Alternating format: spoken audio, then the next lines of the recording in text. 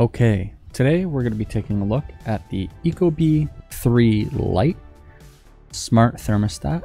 Comes with the whole home sensors, which is these two sensors here. This one's the temperature sensor and occupancy sensor, and this one is a window or door sensor. Let's take a look at what we get. So the smart thermostat, the Hardier Ecobee Home, a smart sensor, a smart sensor for doors and windows, and the Ecobee Haven, which I think is just a service on your smartphone or a subscription service that you can connect your Ecobee to security and stuff like that with the door sensor. Okay, so this is from Costco. So this one we get the Ecobee 3 Lite smart thermostat, a smart sensor, and a smart sensor for doors and windows, the install guide, backplate, trim plate, and all the things that you need to connect it. Supports Wi-Fi, which is the just 2.4 gigahertz, not the 5 gigahertz. It doesn't have Amazon Alexa or anything like that built in, but it does work with an Alexa if you have one. So we can see here, works with Amazon Alexa, HomeKit, Google Assistant, IFTTT, and Samsung SmartThings. Awesome. I obviously am with Samsung, so it should work with my SmartThings here, which is excellent. Let's get this guy open.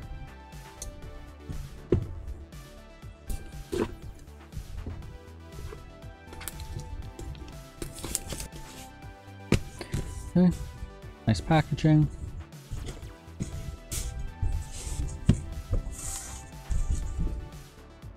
Looks like it's uh, recycled material probably.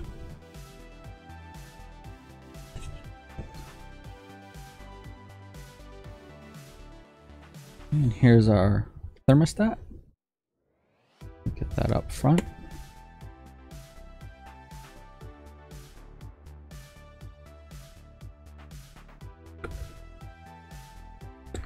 And this would be your smart sensor. Got a magnetic base. Interesting, it doesn't screw on. So it just kind of snaps together here. Interesting.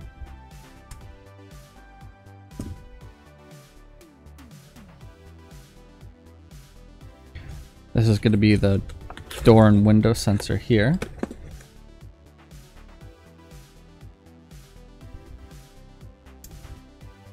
I guess you have to scan this little QR code here, register it with your Ecobee, and this will be the other side of the door or window, so it detects if your door or window is open when they are near each other.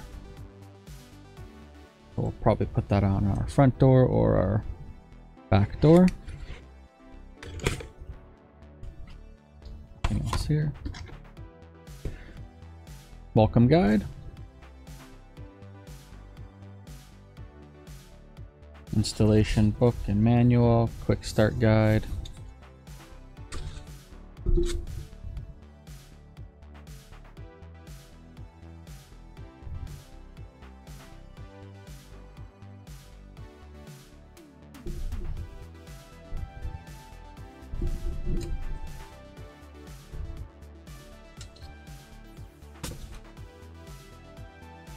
And we'll probably need an installation manual to install it and replace our old thermostat. We currently just have a basic one.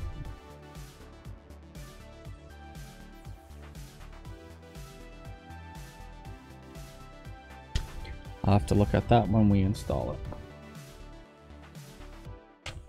We also get some thermostat wiring labels. These are the stickers so you know which wire is which. Complete French manual where we are in Canada. What else do we get here? A bag of screws and drywall mounts.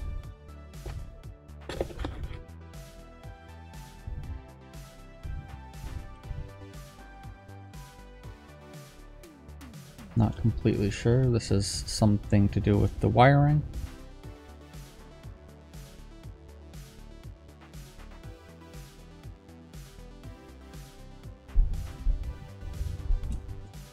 And then you get your wall plate. You're to mount this to where your wires come out of your wall through here. Mount this and then your Ecobee will sit on that.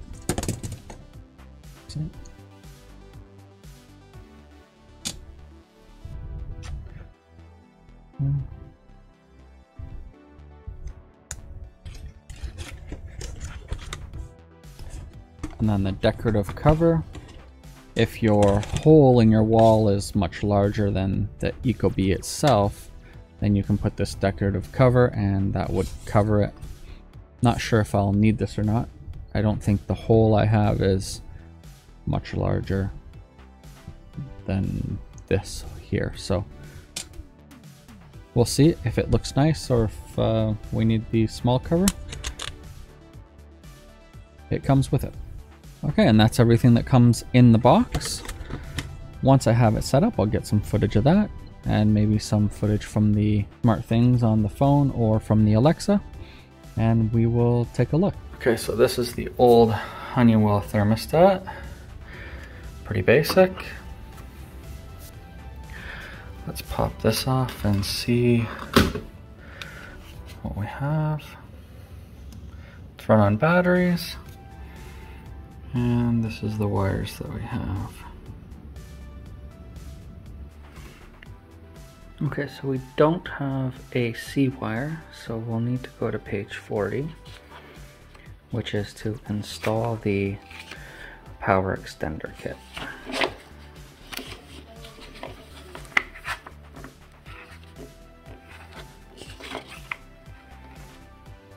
Okay, so let's head down to the furnace and take a look at that.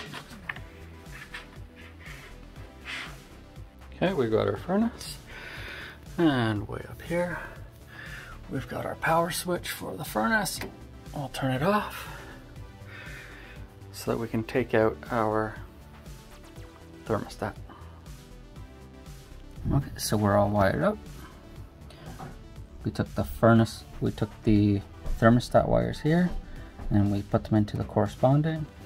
And then we took the PEK, power extender kit wires, and we plugged them in there the furnace power is off. So it was pretty easy just to line up the PEK wires. They're labeled pretty clearly and the corresponding screws that they go in. You just loosen the screw, you put the wire in, tighten the screw back down.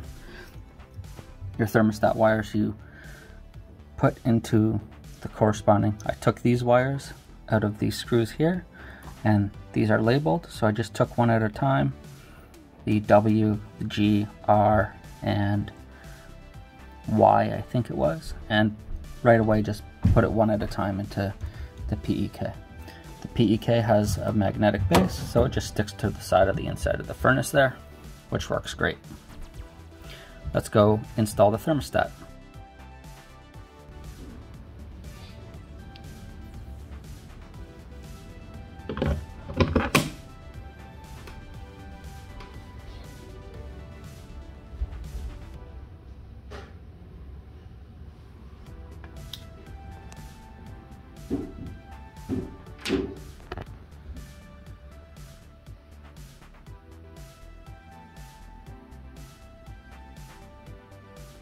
Okay, so once we have our Ecobee app installed, we can see it here. We can go ahead and we can add our sensors. We just click the plus button at the top left, select which sensor you have, and follow the instructions. In my case, we had a smart sensor. We click on let's get started at the bottom. We scan our QR code and then we pull the tab out of the smart sensor, it detects it. And then we can name it, and it will detect it and it will add it. We select which comfort settings the smart sensor will apply to. So for instance, if you have one in your bedroom and you set this smart sensor to apply only to your sleep comfort setting, the temperature sensor will be read and applied during your setup sleep hours. And during the day where there's nobody in the bedroom, then you don't want these comfort settings set to the temperature readings from the bedroom. It's a little bit complicated, but once you understand how it works, it's fairly easy. but we don't want any of these temperature sensors for mine. And then you just go ahead and you place your smart sensor where you want it according to the placement specifications here, and then you're done. And then you can see here, the contact sensor was the same thing. I placed mine at my back sliding door. You click on plus, contact sensor, follow the instructions, and it should get added. Now, if we want to add this to our Samsung SmartThings, it's just as easy. So we can swipe down and go to devices. We click on the small SmartThings icon. We click on the plus button and we can see here we have some things that we can add. We can add a device, a service, a scene, automation, all sorts of things. So in our case, we're going to select a device because we're going to be adding the Ecobee thermostat, which will also add the service along with it. So I'm going to search by brand. We'll go down and we'll select the Ecobee app and we'll select the Ecobee brand. We'll select thermostat, Ecobee devices. Where do we want to add it? It's going to be home and it's going to be my home room in my SmartThings setup. We'll go next. It's going to ask us to sign into our Ecobee account on auth.ecobee.com. I have multi-factor authentication, so I will fill that in now. And once you sign into your Ecobee account, you'll get a status message. The connection between SmartThings and Ecobee is successful. You can close that screen and you're presented with this. We can see here we have our home and our downstairs. We select done and then we'll be brought to our SmartThings. We can go to the bottom here and select devices and that will bring us to our devices in our SmartThing. For home, where we set it up, we see we have downstairs and home. The home is the thermostat. We can select that and we can see here we get all the information from there and it's pretty straightforward layout nothing too complicated. We can select automations at the bottom and we can set up some automations based on statuses of your phone or your temperature, things like that. Okay, and we can back out of there and we can go to history and we can see the history of the temperature and the cooling points, whether it was turned on or off and stuff like that. And you can do the same thing for the smart things sensor that we got, the smart sensor we can select history and we can see the temperature, whether or not there was motion detected, or if there was a presence in the room detected by the smart sensor. And you can set up automations for that as well.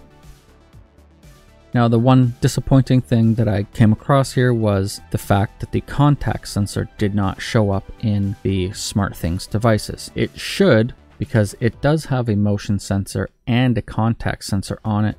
I do want it to show up in here, I don't know why it's not showing up. I did send a support email to the Ecobee support to see if it should show up. If it's possible to show up in the SmartThings app, you can set up automations for the doors opening and closing. You can get a text or an alarm or a notification on your phone if that contact sensor becomes opened or if there's motion sensed in that room or near that door. You can do things like lowering the temperature or turning off your air conditioning or heating when the sensor is opened, which would be fantastic.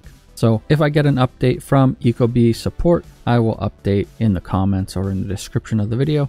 I hope this video has encouraged you and given you some insight into the Ecobee environment and how to get things set up on your smart things with your Samsung Galaxy phones. It's not that difficult and the instructions are actually pretty fantastic. Don't be too scared to get it done. I'll see you in the next video. Bye!